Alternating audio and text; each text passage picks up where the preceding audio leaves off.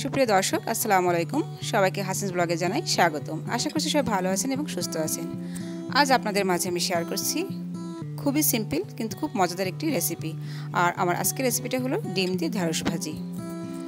বাচ্চারা কিন্তু সবজি পছন্দ করে না, তো আমরা যদি এভাবে ভাজি করে দিই সবজি, তাহলে কিন্তু ওরা মজা করে খেয়ে নেবে। তো চলুন দেখে নেওয়া যাক আমি কীভাবে ডিম ও ঢ্যাঁড়স ভাজি করেছি। এখানে আমি প্রায় পাঁচশো গ্রাম ঢ্যাঁড়স নিয়েছি এবং দুটি ডিম নিয়েছি।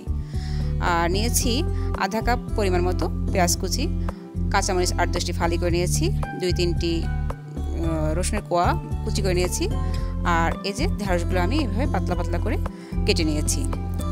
খুব বেশি পাতলাও না, বেশি খুব বেশি মোটা করেও এটা কেটে নেয়নি। আপনারা আপনাদের পছন্দ মতো করেই ভাজি কেটে নেবেন। আর ঢ্যাঁড়স ভাজিতে একটু পেঁয়াজ বেশি দিতে হয়, তাহলে ভালো লাগে। এরপর চুলায় একটা প্যান বসিয়ে দিয়েছি। প্যান গরম হলে দিয়ে দিচ্ছি আধা কাপ পরিমাণ মতো রান্নার তেল। তেলটা গরম হলে তেলের মাঝে আমি দিয়ে দিব পেঁয়াজ কুচি, রসুন কুচি ও কাঁচামরিচগুলো।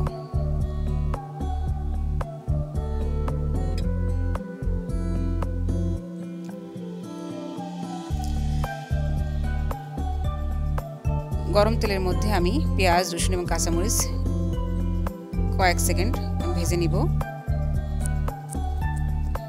এই যে এখন এর মাঝে দিয়ে দিচ্ছি পরিমাণ মতো লবণ। প্রথমে একটু লবণ কম দিব, কেননা এটা ভাজিটা কিন্তু কমে আসবে, পরে আবার চেক করে দেওয়া যাবে। দিচ্ছি আধা চা চামচ পরিমাণ মতো ধনিয়ার গুঁড়া, আধা চা চামচ পরিমাণ মতো হলুদের গুঁড়া। আর দিয়ে দিচ্ছি আধা চামচ পরিমাণ মতো জিরার গুঁড়া। আবার কিছুক্ষণ আমি এগুলো তেলের মধ্যে ভেজে নিব। এই যে ভাজা হয়ে গেছে, এখন এর মাঝে দিয়ে দিচ্ছি কেটে রাখা ঢ্যাঁড়সগুলো ঢ্যাঁড়স সবসময় কিন্তু কাভার ছাড়াই ভাজতে হবে। অনবরত আমি এটা নাড়তে থাকব। প্রথমে একটু হাই হিটে নেড়ে নেব না হলে এটা নরম হয়ে যাবে।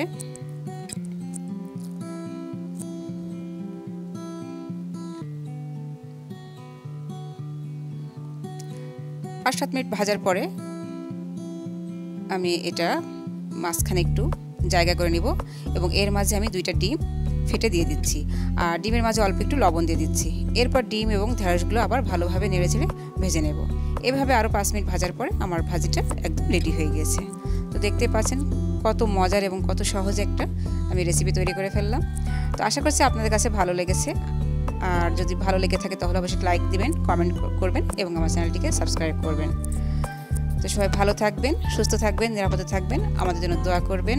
আর আপনারা অবশ্যই এভাবে বাসায় ট্রাই করে দেখবেন এবং আমাকে কমেন্ট করে জানাবেন কেমন হয়েছে। তো আজ এখানেই শেষ করছি, আল্লাহ হাফেজ, আসসালামু আলাইকুম।